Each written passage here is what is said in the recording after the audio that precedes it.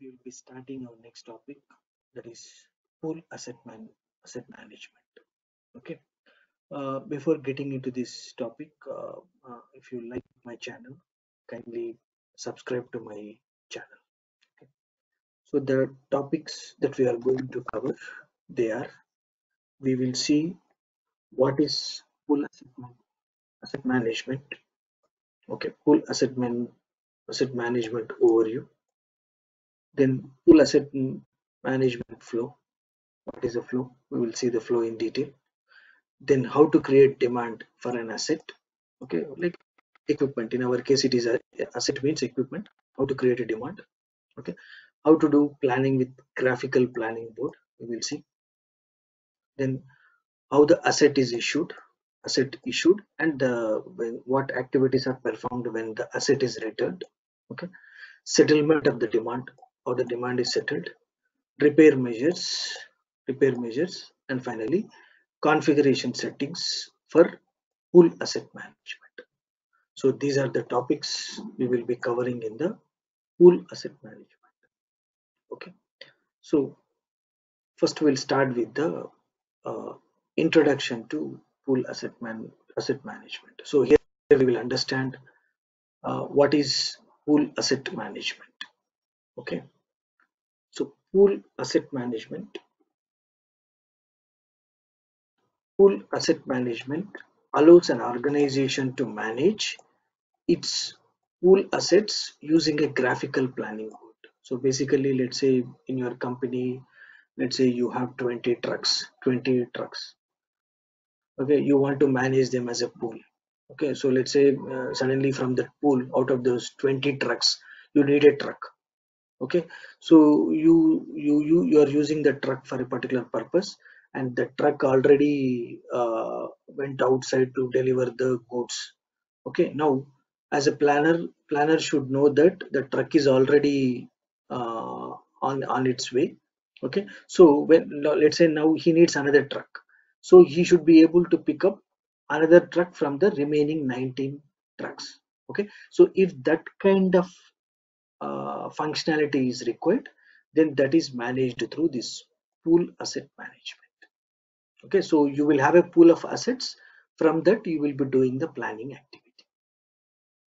You can use this business function to manage your physical assets which you have collected into a pool. So you collect all your assets into a pool which i will show it in the system.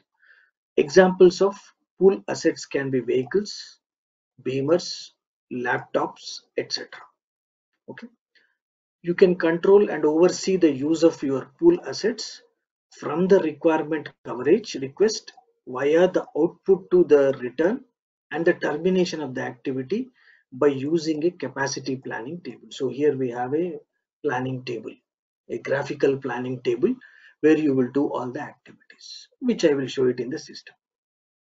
Okay. These pool assets can be used jointly and removed from the pool for a certain period of time. This is also possible. Okay you can control and monitor the use of your pool assets from the requirement coverage request through issue to return and settlement of the service. So basically you create a request for an asset okay from the pool.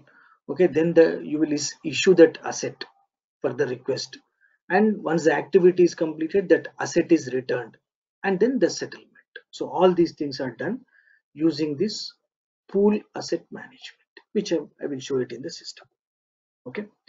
So what are the steps in pool asset management? So these are the steps. Okay. So first you will create a requirement. You will create a requirement in the system. Suppose let's say you have 20 vehicles as a pool. So let's say you need a vehicle. So then you will be creating a requirement. First step. Requester creates a vehicle requirement in the system. Okay? Now step two. Vehicle scheduling. Fleet manager assigns the requirement to a vehicle. So once the requirement is created the the scheduler or the planner or fleet manager assigns that particular requirement to a vehicle which is in the pool. Okay?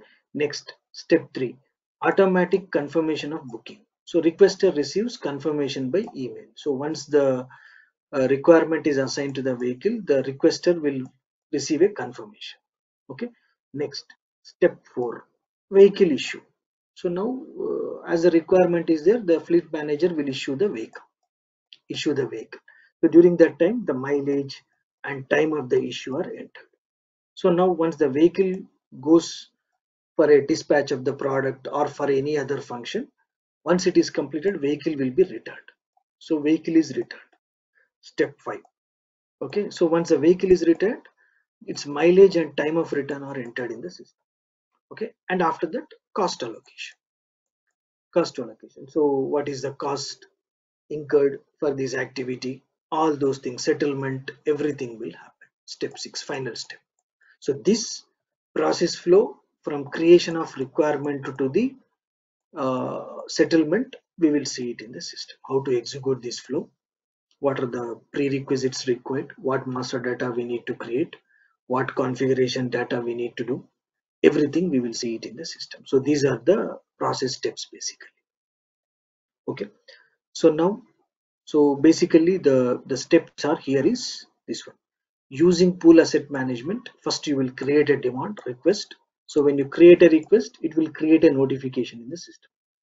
Then you will schedule a pool asset request. You will schedule it that request and reserve a pool asset. Basically you reserve a vehicle or asset.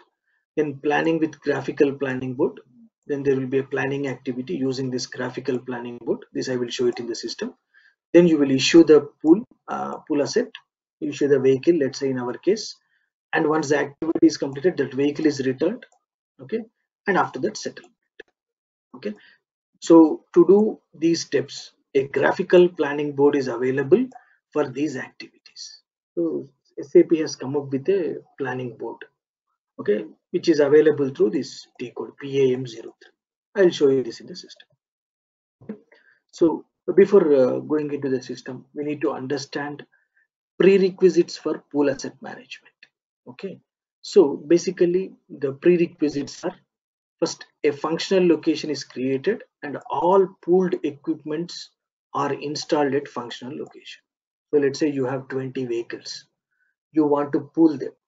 So what you have to do is you have to create a functional location and you need to assign your vehicles or your equipments to that functional location. So you are just pulling them pulling them basically.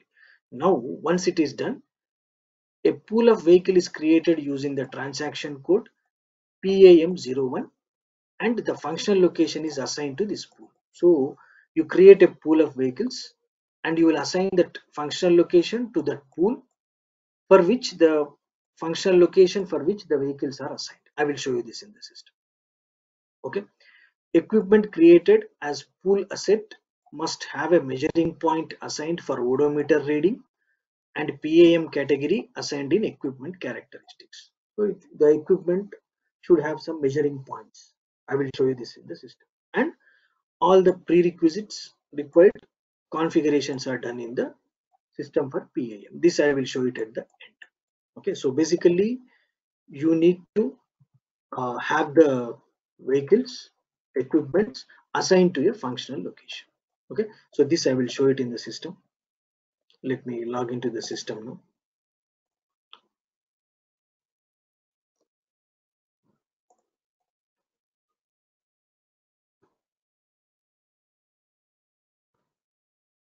okay i have logged onto the system so what i will do i'll just uh, go to a functional location okay.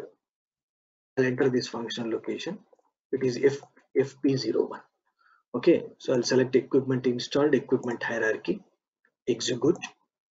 So if you see here for this functional location these many vehicles are assigned. All these are vehicles. You see uni hyphen 00 so around 20 21 vehicles are assigned to this functional location. Okay so you are pooling these 21 vehicles into this functional location. Okay so so let me so I'll open one more session. Okay, now let me go to a equipment IE03, sorry, IE03, IE03. I'll show you the one of the equipment. Okay.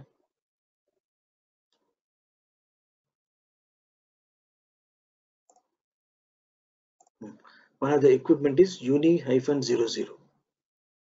Okay, so IE03 UNI hyphen 00 just let me show you this equipment. So this is a vehicle. This is a fleet equipment basically. Okay so this is a fleet equipment. Equipment this is its description. Okay and its vehicle type. It's a truck. It's a truck. Okay and its manufacturer its country model all those things we have as it is a fleet equipment you have the extra fields extra tabs which we have discussed in our fleet management topic. Vehicle type its license plate and its weight load volume height all those things we have it here. We have it here. Okay? And also if you go to the next tab technology here you have engine serial number engine type engine type is diesel engine type is diesel all those things we have. All those things we have okay.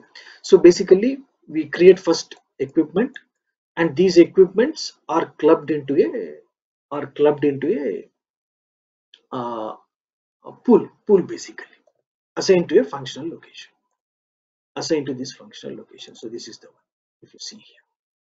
This is the one. Okay. The one which i showed you just now. So 21 vehicles are assigned to a functional location. Now this functional location will be assigned to a pool okay so now let me show you. Okay suppose if i go to maintain pool okay i'll create a pool. You can create a pool. Already we have some pools. Okay suppose if you take this pool pam hyphen wdf if you take this pool if i click on continue you see the functional location fp01 is assigned to this pool. Is assigned to this pool. Okay so this we have to do this we have to do. So to do this what you need to do is simple